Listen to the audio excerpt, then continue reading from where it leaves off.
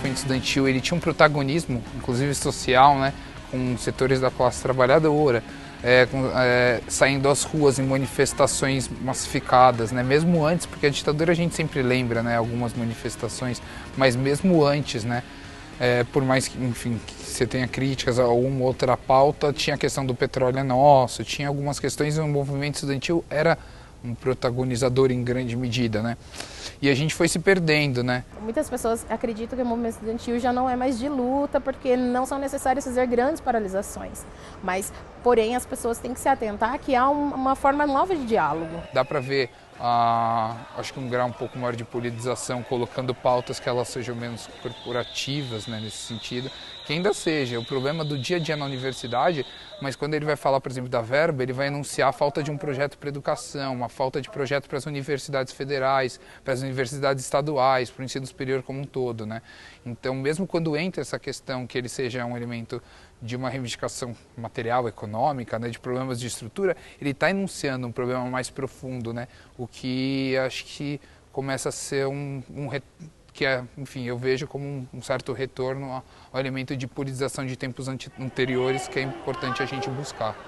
A Unifesp, o FABC, o Fiscal, Campos de Sorocaba e as entidades gerais, os coletivos, os comandos locais que quiserem se inscrever, venham aqui é, fazer a sua saudação.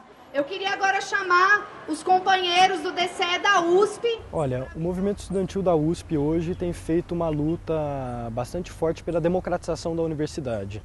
A luta histórica que o movimento estudantil tem é pela defesa da qualidade da Universidade de São Paulo e também de uma democratização do acesso, que mais pessoas possam frequentar a USP do que hoje em dia, que a gente sabe que infelizmente é um espaço bastante restrito. E a gente identifica que, infelizmente, a USP tem dificuldades de avançar nesse sentido, de ser uma universidade mais aberta para a população como um todo, porque um grupo restrito e pequeno de pessoas é, se mantém no poder da universidade, na administração e consegue tomar todas as decisões à reveria da participação da maioria dos professores, dos funcionários e dos estudantes. As principais bandeiras que a gente defende né, atualmente dentro da universidade particular, enquanto movimento, é principalmente a luta por mais qualidade de ensino, já que muitas vezes é, o que o aluno paga, o que o aluno né, investe no seu curso não é retornado em infraestrutura, até mesmo qualidade de ensino, com professores doutores.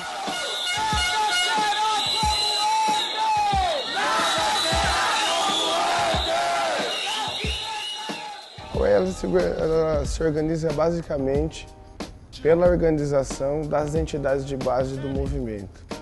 Então, se não existir entidade de base do movimento, com certeza a organização da UEE e da UNE, ela fica muito prejudicada.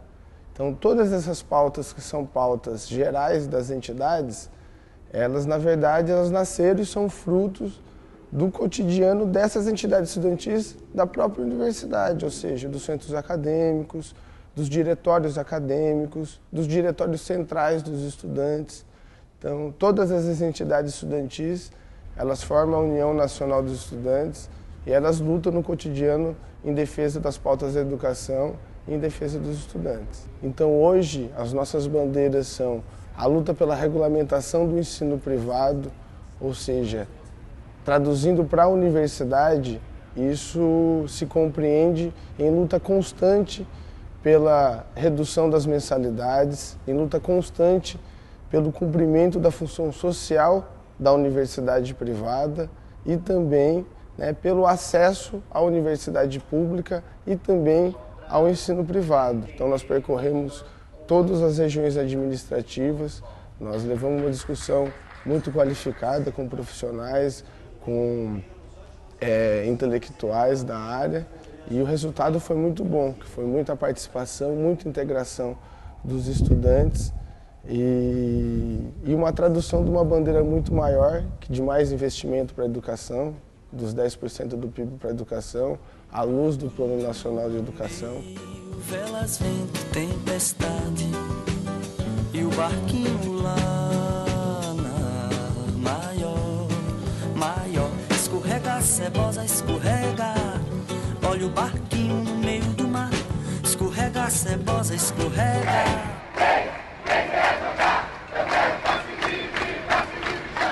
Porque uma instituição educacional jamais cometeria uma ação truculenta como essa com seus trabalhadores. Não cometeria jamais uma situação tão truculenta com seus estudantes. Não estamos! Não estamos! Satisfeitos! Satisfeitos! Com o aumento! Com o aumento! Abusivo! Abusivo!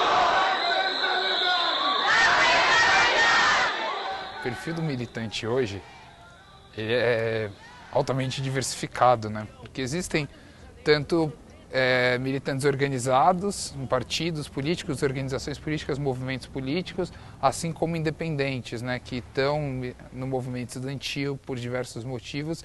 E existem diversas tendências ideológicas mesmo, políticas, né, mas é, eu acho que tem um elemento que ele é bem comum, né, não sei se significa, mas ele é bem comum em diversos militantes que acho em alguns lugares chamam de tarefista, né? aquele que faz diversas ações, faz isso, faz aquilo, corre para um lado para o outro. É, acho que essa vontade da juventude ela é bem expressiva para pensar o movimento estudantil e ela é importante. Mas se ela carece, por exemplo, de uma discussão, de uma politização, de uma compreensão política, né? É, eu acho que as pessoas caem, viram um, um, um, traba um trabalhador de uma greve, um operário do movimento estudantil ou coisa do tipo. Então isso pode adquirir um caráter que não seja muito bom. Então hoje o movimento estudantil ele é composto assim de mais de 20 ou 30 correntes de opinião e todas essas correntes elas seguem fielmente é, a tendência do movimento estudantil. Então elas dialogam entre si, elas disputam ideias, elas se unem, elas se separam, elas disputam os rumos da entidade e elas disputam os rumos né, do projeto do país. Existe uma reivindicação correta e uma preocupação por parte de muitos estudantes de que os partidos não encarem o movimento estudantil como simplesmente um apêndice, um chaveiro, algo que deve estar a serviço da sua própria construção partidária. Né? Por outro lado, o próprio direito de organização política, de organização partidária, é uma conquista histórica no nosso país e também dentro da Universidade de São Paulo. A gente não pode esquecer que numa história, num, num passado recente, na época da ditadura militar, as pessoas não podiam fazer parte de partidos políticos. E nesse sentido, a existência dos partidos, além de a conquista de um direito, é um avanço também para os movimentos sociais. Eu acredito numa concepção em que aqueles estudantes que não fizeram uma opção partidária e aqueles estudantes que fizeram uma opção partidária é, possam estar juntos numa construção política só, num objetivo só e na construção do movimento estudantil de fato. Velas, vento, tempestade e o barquinho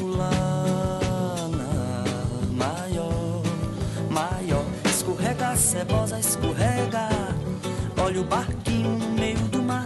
Escorrega, cebosa, escorrega.